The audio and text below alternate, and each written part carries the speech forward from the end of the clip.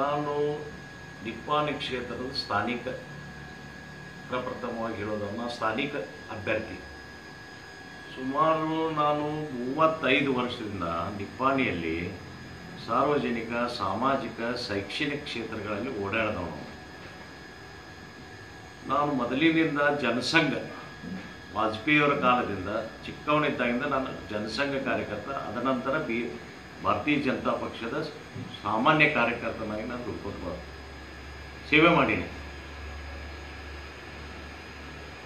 ಪ್ರಪ್ರಥಮವಾಗಿ ಚಿಕ್ಕೋಡಿ ಪಾರ್ಲಿಮೆಂಟ್ ಕ್ಷೇತ್ರಕ್ಕೆ ರಮೇಶ್ ಜಿಗಜಿಡಿ ಅವರು ಬಂದಾಗ ಪ್ರಥಮ ಅವರು ನನ್ನ ಮನೆಗೆ ಬಂದು ಭಾರತೀಯ ಜನತಾ ಪಕ್ಷದ ಸಲುವಾಗಿ ನೀನು ಓಡಾಡಬೇಕಂದಾಗ ನಾನು ಮೊದಲಿಂದ ಭಾರತೀಯ ಜನತಾ ಪಕ್ಷದವರೇ ಇದ್ದಾಗ ಅವ್ರ ಸಲುವಾಗಿ ನಾನು ಪ್ರ ಮೂರು ಇಲೆಕ್ಷನ್ಗಳನ್ನು ಪ್ರಯತ್ನ ಮಾಡಿದ್ದೆ ಅದಾದ ನಂತರ ಪಾರ್ಲಿಮೆಂಟಿಗೆ ರಮೇಶ್ ಜಿಗಜಿಣಗಿ ಅವರು ರಿಸರ್ವ್ ಕಾನ್ಸ್ಟಿಟ್ಯೂನ್ಸಿ ವಿಜಾಪುರ ಆದ ನಂತರ ಅಲ್ಲಿ ಹೋದರು. ಅವ್ರ ಸ್ಥಾನದಲ್ಲಿ ರಮೇಶ್ ಕತ್ತಿಯವರು ಬಂದರು. ಅವ್ರದ್ದು ನಾವು ಪ್ರಾಮಾಣಿಕವಾಗಿ ಭಾರತ ಪಕ್ಷದ ಹಿತದೃಷ್ಟಿಯಿಂದ ಅವ್ರನ್ನ ಚುನಾವಣೆಯಲ್ಲಿ ನಾವು ಗೆದ್ದಿಯಲ್ಲಿ ಪ್ರಯತ್ನ ಮಾಡಿದ್ವಿ. ತದನಂತರ ನಮ್ಮ ಸಹೋದರಿಯಾದ ಶಶಿಕಲಾ ಜೊಲ್ಲೆಯವರು ಭಾರತೀಯ ಜನತಾ ಪಕ್ಷದ ಟಿಕೆಟ್ ತೊಗೊಂಡು ಪ್ರ ನೇರವಾಗಿ ನನ್ನ ಮನೆಗೇನೆ ಬಂದರು. ಅವಾಗ ನನ್ನ ಮನೆ ಬದಿಗೇನೆ ಜಾಗ ಕೊಟ್ಟು ಪೆಂಡಾಲ್ ಹಾಕಿ ಅವ್ರಿಗೆ ಎಲ್ಲ ರೀತಿಯಿಂದ ಸಕಲ ಸಹ, ಸಹಕಾರ ಮಾಡಿದೆ ಅವ್ರು ಚುನಾವಣೆಯಲ್ಲಿ ಆರಿಸಿ ಬರಲಿಲ್ಲ, ದುರ್ದೈವ. ಎರಡನೇ ಚುನಾವಣೆಯಲ್ಲಿ ಅವ್ರು ಆರಿಸಿ ಬಂದಾಗ ಭಾರತೀಯ ಜನತಾ ಪಕ್ಷದ ಮೂಲ ಕಾರ್ಯಕರ್ತರನ್ನವರು ಕೇರ ಮಾಡಲಿಲ್ಲ. ಹೊಸದನ ಸಂಘ ಕಟ್ಟಿಕೊಂಡು ತಮ್ಮ ಕಾರ್ಯಗಳನ್ನು ಕಾಯಕವನ್ನು ಮಾಡ್ಕೊತ ಹೋದ್ರು ಆದರೆ ನಾನು ಒಬ್ಬ ಭಾರತೀಯ ಜನತಾ ಪಕ್ಷದ ಸಾಮಾನ್ಯ ಕಾರ್ಯಕರ್ತನಾಗಿ ಈ ಪಕ್ಷದಿಂದ ಚುನಾವಣೆಯಲ್ಲಿ ಅಭ್ಯರ್ಥಿ ಆಗ್ಬೇಕಂತ ಒಂದು ಮನಸ್ಸು ಗಟ್ಟಿ ಮಾಡಿ ಸಾರ್ವಜನಿಕವಾಗಿ ಸೀಮಾ ಭಾಗದಲ್ಲಿ ಭಾಷಾ ಬಾಂಧವ್ಯವನ್ನು ಕೆಡಿಸದ ನಾನು ಒಂದು ಸಮಾಜ ಸೇವೆ ಮಾಡಬೇಕನ್ನೋ ಉದ್ದೇಶದಿಂದ ಭಾರತೀಯ ಜನತಾ ಪಕ್ಷದಿಂದ ನಾನು ಅಭ್ಯರ್ಥಿಯಾಗಲು ಕೇಂದ್ರೀಯ ಸಚಿವರಿಗೂ, ಹಿರಿಯರಿಗೂ, ರಾಜ್ಯ ರಾಜ್ಯಾಧ್ಯಕ್ಷ ಯಡಿಯೂರಪ್ಪನವರಿಗೂ, ಜಿಲ್ಲೆಯ ಶಾಸಕರಿಗೂ, ಲೋಕಸಭಾ ಸದಸ್ಯರಿಗೂ ನಾನು ಮನವಿ ಪತ್ರವನ್ನು ಕೊಟ್ಟಿದ್ದೀನಿ. ಅದೇ ಪ್ರಕಾರ ನಾನು ಆರ್ ಎಸ್ ಎಸ್ ಕಾರ್ಯಕರ್ತನಾಗಿದ್ದರಿಂದ ಆರ್ ಎಸ್ ಎಸ್ ಮುಖಂಡರಿಗೂ ನಾನು ಮನವಿಗಳನ್ನು ಕೊಟ್ಟಿದ್ದೀನಿ. ಆ ಮನವಿಗಳನ್ನು ಕೂಲಂಕುಷವಾಗಿ ಸ್ವೀಕರಿಸಿ ಚರ್ಚೆ ಮಾಡಿ ನನಗೆ ಅಭ್ಯರ್ಥಿ ಕೊಡಬಹುದು ಅಂತ ನಾನು ಪೂರ್ಣ ನಂಬಿದ್ದೀನಿ. ಹೊಸ ಹೊಸ ಚಾನ್ಸ್ ಇರಬೇಕು, ಹೊಸ ಹೊಸ ಅಭಿವೃದ್ಧಿ ಆಗಬೇಕು ನಿಪ್ಪಾಣಿಯಲ್ಲಿ. ನಿಪ್ಪಾಣಿ ಕ್ಷೇತ್ರ ಇನ್ನೂ ಅಭಿವೃದ್ಧಿ ಆಗಬೇಕು. ತಾಲೂಕಾ ಮಾಡ್ತೀನಿ ಅಂತ ಘೋಷಣೆ ಮಾಡ್ತಾರೆ, ಇನ್ನೂ ತಾಲೂಕಾ ಆಗಿಲ್ಲ. ಚಿಕ್ಕೋಡಿ ಜಿಲ್ಲಾ ಆಗಬೇಕು. ಇದಕ್ಕೆ ನಮ್ಮದು ಸಂಪೂರ್ಣ ಬೆಂಬಲ ಅದ. ನಿಪ್ಪಾಣಿ ಒಂದು ಸೀಮಾ ಭಾಗದ ಒಂದು ಶಿಕ್ಷಣ ಕೇಂದ್ರ ಬಿಂದುವಾದ ವಿದ್ಯಾಸಂವರ್ಧಕ ಮಂಡಳದ ನಾನು ಇಪ್ಪತ್ತೈದು ವರ್ಷದಿಂದ ನಿರ್ದೇಶಕನಾಗಿ ವಿದ್ಯಾರ್ಥಿ ಸೀಮಾ ಭಾಗದ ವಿದ್ಯಾರ್ಥಿಗಳಿಗೆ ವಿದ್ಯಾರ್ಥಿಗಳಿಗೆ ಶಿಕ್ಷಣದ ಸೌಲಭ್ಯ ಸಿಗಬೇಕಂತ ನಾವು ದಿವಂಗತ ಸೋಮಶೇಖರಣ್ಣ ಕೋಟಿವಲಿಯವರ ಮಾರ್ಗದರ್ಶನದಲ್ಲಿ, ಅವರ ನೇತೃತ್ವದಲ್ಲಿ ವಿದ್ಯಾಸಂವರ್ಧಕ ಮಂಡಳದ ಅಭಿವೃದ್ಧಿಗೋಸ್ಕರ ನಾನು ಸಾಕಷ್ಟು ದುಡಿದಿದ್ದೀನಿ. ಅದರಂತ ಗಡಿ ಭಾಗದಲ್ಲಿ ಉದ್ಯೋಗ ನಿರ್ಮಾಣ ಆಗಬೇಕು. ರೈತರ ಹಿತ ಕಾಪಾಡಬೇಕು ಅನ್ನೋ ದೃಷ್ಟಿಯಿಂದ ಕೊಲ್ಲಾಪುರದ ಮಹಡೀಕ್ ಉದ್ಯೋಗ ಸಮೂಹದಿಂದ ನೇತೃತ್ವದಲ್ಲಿ ವೆಂಕಟೇಶ್ವರ ಸಕ್ಕರೆ ಕಾರ್ಖಾನೆಯನ್ನು ನಿರ್ಮಾಪಕ, ನಿರ್ಮಾಣ ಮಾಡುವುದರಲ್ಲಿ ನಾನು ಸಂಸ್ಥಾಪಕ ನಿರ್ದೇಶನಾಗಿ ಸುಮಾರು ಏಳು ತಿಂಗಳಲ್ಲಿ ಓಡಾಡಿ ಆ ಕಾರ್ಖಾನೆಯನ್ನು ನಿಲ್ಲಿಸಿ ಈ ಭಾಗದ ರೈತರ ಚಿಂತೆಯನ್ನು ದೂರ ಮಾಡಿದವರಿದ್ದೀವಿ. ನಿರುದ್ಯೋಗಿ ಯುವಕರಿಗೋಸ್ಕರ ಉದ್ಯೋಗಕ್ಕೋಸ್ಕರ ನಾನು ಈ ಕಾರ್ಖಾನೆಯನ್ನು ಪ್ರಾರಂಭಿಸಲು ಶತಪ್ರಯತ್ನ ಮಾಡಿದ್ದೀನಿ. ಈ ಈ ರೀತಿ ನಾನು ನಿಪ್ಪಾಣಿಯೊಳಗೆ ಸಾಮಾಜಿಕ ಕಾರ್ಯಕರ್ತ ಕಾರ್ಯ, ಶೈಕ್ಷಣಿಕ ಕಾರ್ಯ ಕಾರ್ಯಗಳನ್ನು ಅಪಾರವಾಗಿ ಮಾಡಿದ್ರು ಅದೇ ಪ್ರಕಾರ ಬಹಳ ದಿವ, ವರ್ಷಗಳಿಂದ ನೆನೆಗುವುದಿಗೆ ಬಿದ್ದಿದ್ದ ಕಿತ್ತೂರು ಚೆನ್ನಮ್ಮ ಪುತ್ಥಳಿಯನ್ನು ನಿಜಲಿಂಗಪ್ಪ ಕಾಲದಿಂದನೂ ನಮ್ಮ ಹಿರಿಯ ಸಂಬಂಧಿಗಳ ಕೋಟಿವಲೆ ಅನ್ನೋರು ಪ್ರಯತ್ನ ಮಾಡ್ತಿದ್ರು. ಅವರ ಮಾರ್ಗದರ್ಶನದಲ್ಲಿ ರಮೇಶ್ ಜಿಗಜಿನಿಯವರು ಲೋಕಸಭಾ ಸದಸ್ಯರಾಗಿದ್ದಾಗ, ಅವರನ್ನ ಮನವಿ ಮಾಡಿಕೊಂಡಾಗ, ಲೋಕಸಭಾ ಸದಸ್ಯರಾದ ರಮೇಶ್ ಜಿಗಜಿನಿಯವರು ಯಾವುದೇ ಬೇಸರ ವ್ಯಕ್ತಪಡಿಸದೆ ನನಗೆ ಒಂಬತ್ತು ಲಕ್ಷ ರೂಪಾಯಿ ನಿಧಿಯನ್ನು ಕೊಟ್ಟು ಕಿತ್ತೂರು ಚೆನ್ನಮ್ಮ ಪುತ್ಥಳಿಯನ್ನು ನಿರ್ಮಾಣ ಮಾಡಲಿಕ್ಕೆ ನನಗೆ ಸಂಪೂರ್ಣ ಬೆಂಬಲ ಕೊಟ್ಟರು. ಅವರ ನಿಧಿಯಿಂದ ತಂದು ನಾನು ಕಿತ್ತೂರು ಚೆನ್ನಮ್ಮ ಪುತ್ಥಳವನ್ನು ನಿರ್ಮಾಣ ಮಾಡೋಕ್ಕೆ ಒಬ್ಬ ಕಾರಣೀಭೂತ ಸದಸ್ಯನಾಗಿದ್ದೇನೆ. ಇನ್ನು ಮುಂದೆ ನನಗೆ ಒಂದು ವೇಳೆ ಭಾರತೀಯ ಜನತಾ ಪಕ್ಷದವರು ಕೌಂಟ್ ಮಾಡಿ ಟಿಕೆಟ್ ಕೊಟ್ಟರಂದ್ರೆ ಚುನಾವಣೆಯಲ್ಲಿ ದೈವದಿಂದ ನಾನು ಗೆದ್ದು ಬಂದರೆ ನಿಪ್ಪಾಣಿ ಕ್ಷೇತ್ರದಲ್ಲಿ ಪ್ರಪ್ರಥಮವಾಗಿ ಒಂದು ಒಳ್ಳೆ ಸುಸಜ್ಜಿತ ಆಸ್ಪತ್ರೆ ಆಗಬೇಕು ಸರ್ಕಾರ ಮೆಡಿಕಲ್ ಕಾಲೇಜ್ ಆಗಬೇಕು, ಹೊಸ ಹೊಸ ಇಂಡಸ್ಟ್ರೀಸ್ಗಳು ಬರಬೇಕು. ಈ ಪ್ರಯತ್ನದಲ್ಲಿ ನಾ ಈ ಪ್ರಯತ್ನ ಮಾಡು, ಒಂದು ಚಿಂತನೆ ಇಟ್ಕೊಂಡಿದ್ದೀನಿ ಅದಕ್ಕೆ ಭಾರತೀಯ ಜನತಾ ಪಕ್ಷದ ವರಿಷ್ಠರು ನನ್ನನ್ನು ಪರಿಗಣಿಸಿ, ಇಲ್ಲಿ ಅಭ್ಯರ್ಥಿ ಅಂತ ಕೊಟ್ಟರೆ ನಾ ಎಲ್ಲ ಜಾತಿ ಧರ್ಮದವರು ಸ್ನೇಹಿತನಾಗಿದ್ದೀನಿ. ಎಲ್ಲ ಹಳ್ಳಿಗಳ ಜನರು ನನ್ನ ಪರಿಚಯಿತರಿದ್ದಾರೆ, ನನ್ನ ನನ್ನ ಗುರ್ತ ಹಿಡಿತಾರೆ. ಸಾಮಾನ್ಯವಾಗಿ ನಯ ವಿನಯದಿಂದ ನಾನು ಕಾರ್ಯಕರ್ತರು, ಮತದಾರರ ಸೇವೆ ಮಾಡೋಕ್ಕೆ ನಾ ಬದ್ಧದೀನಿ. ನನಗೆ ಆಫೀಸ ಬಂಗಲೆ ಇಲ್ಲ.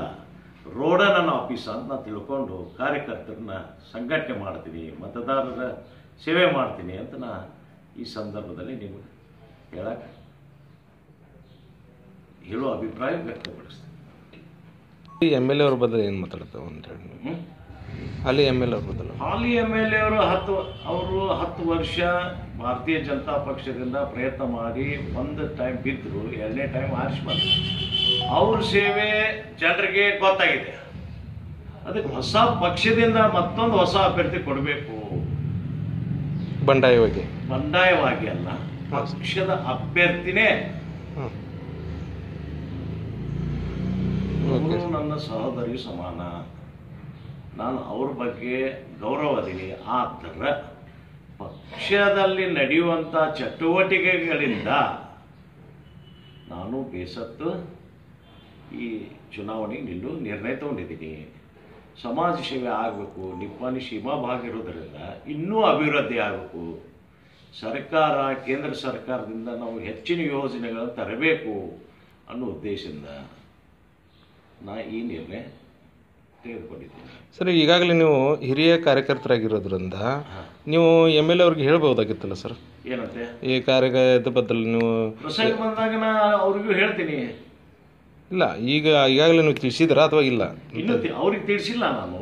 ಹ್ಞೂ ಜಿಲ್ಲೆಯಲ್ಲಿ ಇರುವಂತ ಅಲ್ಲ ಕಾರ್ಯಕರ್ತರ ಸಮಸ್ಯೆಗಳನ್ನ ನೀವು ಅವ್ರಿಗೆ ಮನವರಿಕೆ ಮಾಡಿ ಕೊಟ್ಟಿದ್ರ ಅಥವಾ ಇಲ್ಲ? ಅವ್ರು ಅವ್ರಿಗೆ ನಾ ಮನವರಿಕೆ ಮಾಡಿಲ್ಲ ಅವ್ರದ್ದು ಅವರೇ ತಿಳ್ಕೊಳ್ಬೇಕು. ಅವ್ರದ್ದು ಅವರೇ ತಿಳ್ಕೊಬೇಕು ಎಲ್ಲಿ ನೋವಾಗಿದೆ ಇದು?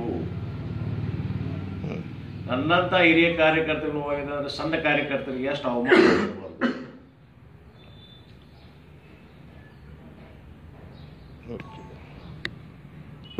ಬಹಳ ಜನ ಹಳಿ ಕಾರ್ಯಕರ್ತರು ಮಾಡಿದಾರೆ ಅಂತೇಳಿ ಹೌದು. ಎಂ ಎಲ್ ಎ ಅವರು ಸರಿಯಾಗಿ ಸರಿಯಾಗಿ ಯಾರು ಲಕ್ಷ ಕೊಡ್ತಾ ಇಲ್ಲ ಸರಿಯಾಗಿ ಅವ್ರಿಗೆ ಲಕ್ಷ ಕಿಮ್ಮತ್ತನ್ನು ನೀಡ್ತಾ ಇಲ್ಲ ಅಂತ ಬಹಳ ಮಂದಿ ಮಾತಾಡ್ತಾ ಇದ್ದಾರೆ. ಬಹಳ ಜನ ಕಾರ್ಯಕರ್ತರ ಹಳಿ ಕಾರ್ಯಕರ್ತರಿರಲಿ ಹೊಸ ಕಾರ್ಯಕರ್ತರಿರಲಿ ಮತದಾರರು ಸಹಿತ ನನಗೆ ಬಂದ ಹೇಳ್ಯಾರ ನಮಗೆ ಸರಿಯಾದ ವ್ಯವಸ್ಥೆಗಳು ಇಲ್ಲ. ನಮ್ಮನ್ನು ಅವರು ಕೇರ್ ಮಾಡ್ತಾ ಇಲ್ಲ ಅಂತ ನಮಗೆ ಬಂದು ಹೇಳ್ಯಾರ. ಆದರೂ ನಾವು ಅವ್ರಿಗೆ ಕನ್ವಿನ್ಸ್ ಮಾಡಿ ಇಲ್ಲಿವರೆಗೆ ಪಕ್ಷಿ ದ್ರೋಹ ಆಗಬಾರ್ದು ಅನ್ನೋ ಉದ್ದೇಶದಿಂದ ನಾವು ಇಲ್ಲಿವರೆಗೆ ಕರ್ಕೊಂಡು ಬಂದಿದ್ದೆ. ತಮ್ಮ ತಾವು ಪ್ರಚಾರ ಮಾಡ್ಕೊತ ಅಂತ ಮಾಡ್ಕೊತಾ ಇದ್ದಾರೆ ಅಂತ ಸಾರ್ವಜನಿಕರು ಮಾತಾಡ್ತಾರೆ ಹೌದು ಹೌದು ಇದು ಸತ್ಯ ಇದ್ರ ಬದಲು ತಿಮ್ಮದು ಏನ್ರಿ ಸರ್? ಇದು ಸತ್ಯದ ಭಾರತೀಯ ಜನತಾ ಪಕ್ಷದ ಪ್ರಚಾರ ಆಗ್ಬೇಕಾಗಿತ್ತು ಅದು ಅದು ಆಗಲಿಲ್ಲ. ವೈಯಕ್ತಿಕ ಪ್ರಚಾರ ಒಂದೇ ಅವ್ರದ್ದು ಗುರಿಯಾಗಿದೆ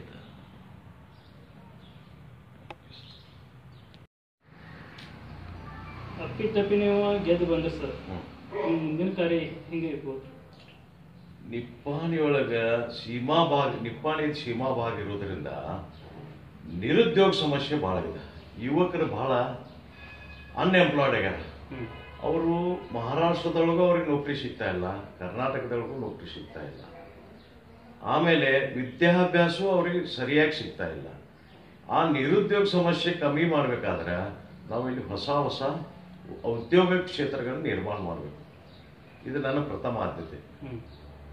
ಆಮೇಲೆ ಎಲ್ಲ ಹಳ್ಳಿಗಳಿಗೆ ರೋಡು ಶೌಚಾಲಯಗಳನ್ನು ಕೇಂದ್ರ ಸಚಿವರಾದಂಥ ರಮೇಶ್ ಜಿಂಜಿನಿಯರು ಕುಡಿಯುವ ನೀರು ಹಾಗೂ ಸ್ಯಾನಿಟ್ ಶೌಚಾಲಯ ಈ ಖಾತೆ ಸಚಿವರಾಗುವುದರಿಂದ ಇರುವುದರಿಂದ ಅವ್ರ ಕಡೆಯಿಂದ ಅನೇಕ ಯೋಜನೆಗಳನ್ನ ತಂದು ನನ್ನ ಕ್ಷೇತ್ರದಲ್ಲಿ ಅದನ್ನ ನಿರ್ಮಾಣ ಮಾಡ್ಬೇಕಂತ ನನ್ನ ಎರಡನೇ ಉದ್ದೇಶ. ಆಮೇಲೆ ಶಿಕ್ಷಣ ಕ್ಷೇತ್ರದೊಳಗ ಹೆಚ್ಚಿನ ಅಭ್ಯಾಸ ಇಲ್ಲೇ ಸಿಗಬೇಕು ಅನ್ನೋದ್ರ ಮೆಡಿಕಲ್ ಸರ್ಕಾರದ ವತಿಯಿಂದ ಮೆಡಿಕಲ್ ಕಾಲೇಜ್ ತರಬೇಕು ಸಾಕಷ್ಟು ಜಾಗ ಇದೆ ಸರ್ಕಾರದಲ್ಲಿ. ಎರಡು ಚಿಕ್ಕೋಡಿ ಸದರಗ ಕ್ಷೇತ್ರದ ಜನರಿಗೆ ಮತ್ತು ನಿಪ್ಪಾಣಿ ಕ್ಷೇತ್ರದ ಜನರಿಗೆ ಈ ಅವಕಾಶ ಸಿಗಬೇಕಂತೇಳಿ ಒಂದು ಮೆಡಿಕಲ್ ಕಾಲೇಜ್ ಮಾಡಬೇಕು. ಆಮೇಲೆ ದೊಡ್ಡ ಪ್ರಮಾಣದಲ್ಲಿ ಹಾಸ್ಪಿಟಲ್ ಸರ್ಕಾರ ವತಿಯಿಂದ ಮಾಡಿಸ್ಬೇಕು. ಸುಸಜ್ಜಿತವಾದ ಹಾಸ್ಪಿಟಲ್ ಮಾಡಿಸ್ಬೇಕು ಅಂತ ನನ್ನ ಯೋಚನೆ ಇದೆ. ಸರ್ ಪ್ರೆಷರ್ ತಂದು ಟಿಕೆಟ್ ಅವರು ಕೊಡಲಿಲ್ಲ ಅಂದರೆ ಅವ್ರಿಗೆ ಸಿಕ್ತಂದ್ರೆ ಆಗ ನೀವು ಬಂಡಾಯ ಅಭ್ಯರ್ಥಿಯಾಗಿದೆ ಮತ್ತೆ ನಿಲ್ತೀರಾ? ಅಥವಾ ಹೇಗೆ? ಪಕ್ಷದ ಶ್ರೇಷ್ಠ ಪಕ್ಷದ ಆದೇಶ ಪ್ರಕಾರ ನಾನು ನಡೀತೀನಿ. ಹಾಂ ಸರ್. ಪಕ್ಷದ ಹಿರಿಯರು ಏನು ಹೇಳ್ತಾರಲ್ಲ ಆ ಆದೇಶ ಪ್ರಕಾರ ನಾನು ನಡ್ಕೊಂತೀನಿ. ಬಂಡಾಯದ ವಿಷಯ ಇಲ್ಲ. ಇಲ್ಲ ಹಾಲಿ ಶಾಸಕರು ಏನಾದರೂ ಪ್ರೆಷರ್ ತಂದ ನನ್ನ ಮೇಲೆ ಅವ್ರು ಪ್ರೆಷರ್ ತರಕಾಗಲ್ಲ ನಿಮ್ಮ ಮೇಲೆಲ್ಲ ಇಲ್ಲ. ಪಕ್ಷ ಪಕ್ಷದ ವರಿಷ್ಠರ ಮೇಲೆ. ಶ್ರೇಷ್ಠರಿಗೆ ನಮ್ಮ ಮನವರಿಕೆ ಮಾಡ್ತಾ ಇದ್ದೀನಲ್ಲ ಈಗ. ಸರ್. ಮನವರಿಕೆ ನನಗೆ ಆತ್ಮವಿಶ್ವಾಸ ಅದ. ನನಗೆ ಟಿಕೆಟ್ ಸಿಗ್ತದ. ನನಗೆ ಆತ್ಮವಿಶ್ವಾಸ ಅದ.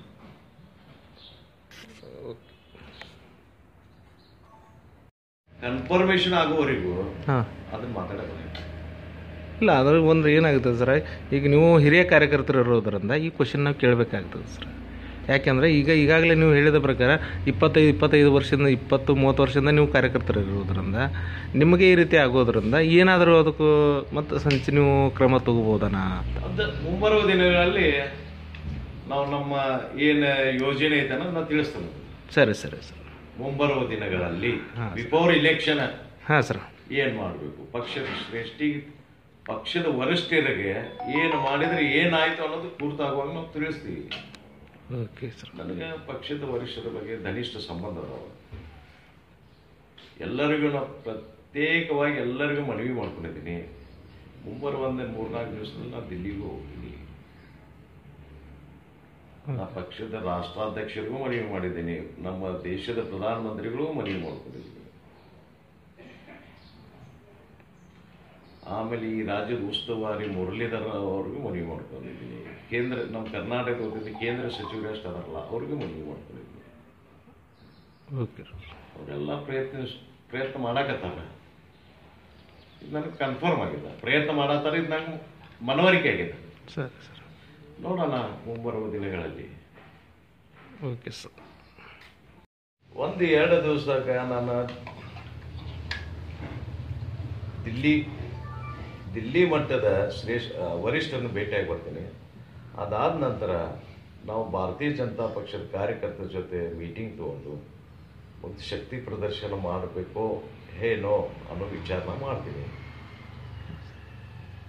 ದಿಲ್ಲಿಗೆ ಹೋಗಿ ಬಂದ